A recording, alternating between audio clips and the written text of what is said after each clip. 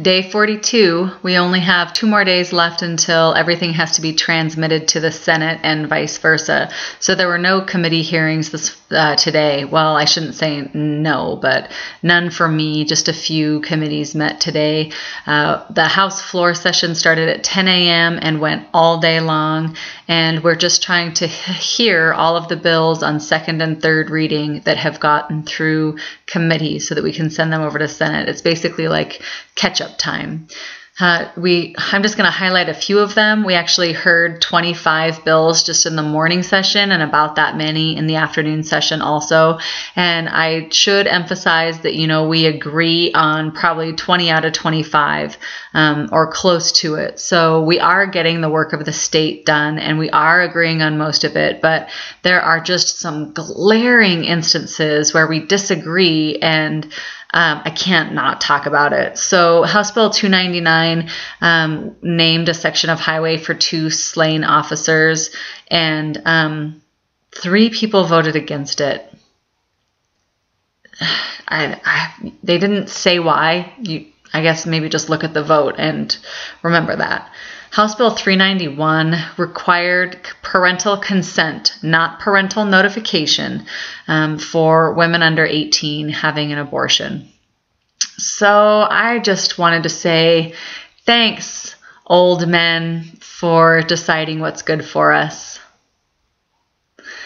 House Bill 417 was an eminent domain bill, and the companies wanted us to vote no on it, and the government wanted us to vote no on it, and a yes vote was for people, and it passed. I was really, really happy about that. I um, did not like that it took out a six month language regarding lawsuits, um, and I still voted for it. This afternoon, we heard House Bill 265, which yet again was another bill to raise the limits on campaign finance. And Representative O'Neill stood up and said, You can't vote against this because that would be voting against our free speech. Don't limit our free speech. So I always love it when one of them says that money is speech. Really? What planet are you from? And House Bill 329 would have did does prohibit the state employees from being proponents or opponents of a bill in a hearing. And the problem with that is that every single one of us on both sides of the aisle brings a bill to make government work better and it usually has something to do with some kind of a government department and the person who knows the most about how that department runs is someone who works for the department. So um, it's kind of a problem. This bill really hinders the work that we do. Um, and I was really offended when someone made a distinction between state employees and actual citizens, you know, because the people who do the work of our state, the work that matters, our state employees, they're not citizens. Um, someone should tell someone that all these non citizens are working for the state of Montana. House Bill 384 was the gun bill that we heard on reconsideration, um, and it got passed. So they amended it, um, and it it prevents schools from expelling students for um, gun related violations.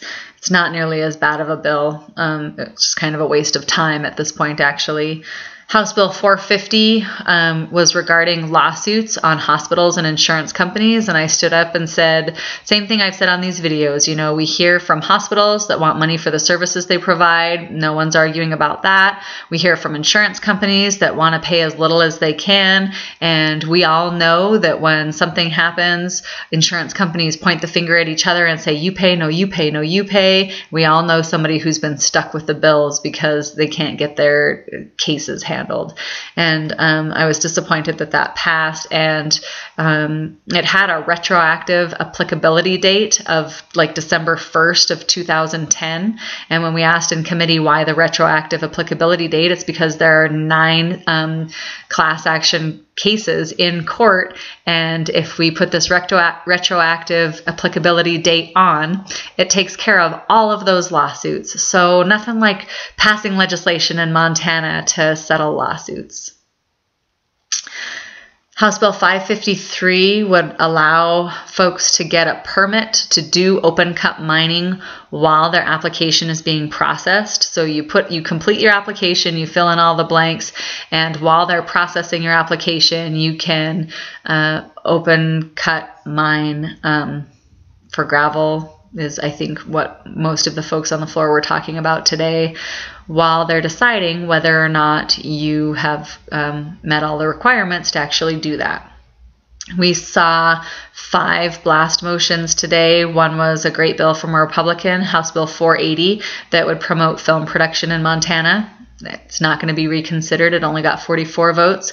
House Bill 319 was a bill that I've talked about in several different public places and on these videos. It provided for um, transition mental health services for severely emotionally disturbed teenagers um, transitioning into adulthood. And uh, Carolyn Pease Lopez did a great job of saying, you know, it was gun week, gun week in the House of Representatives, and even the the NRA said, don't take away our guns, but do fund um, mental health services. But Montana is gonna is going to promote guns and put guns everywhere, but also not fund mental health services for the tune of five thousand dollars over four, five million dollars over four years.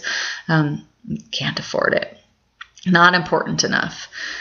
House Bill 441 would provide that insurers have to pay for mammographies when a doctor says that a woman under the age of 40 is at really high risk and has had family uh, immediate family members die of the disease and needs to have a mammography. And um, we're not going to require insurance companies to do that because we don't do mandates no more mandates in the state of montana. So that only got 52 votes. The mental illness bill only got 48 votes. I tried to, to blast house bill 490 again the hire montana first act and they talked in circles around it just like they did the first time and came up with all kinds of bs excuses to put the free market in front of Montanans. And um, I got 45 votes, so I got one more than I had the last time.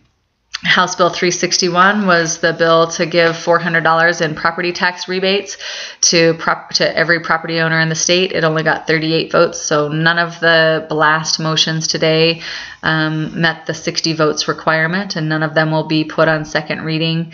Um, tomorrow morning, we're going to start at 8 and go all day long again, just trying to get these bills through so that we can leave on Thursday, and then on Monday, it'll be back to committee hearings, only it'll be Senate bills that we're hearing for the rest of the time.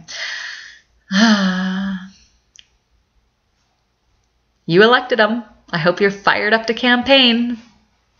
Thanks for sending me. It's an honor to represent Butte, and I know that I represent 10,000 sane and humane people. And based on the things I'm hearing coming out of the mouths of some of these representatives, not everyone must represent 10,000 sane and humane people. So thanks, Butte. I'm really, really, really proud to be here on your behalf. Have a good night.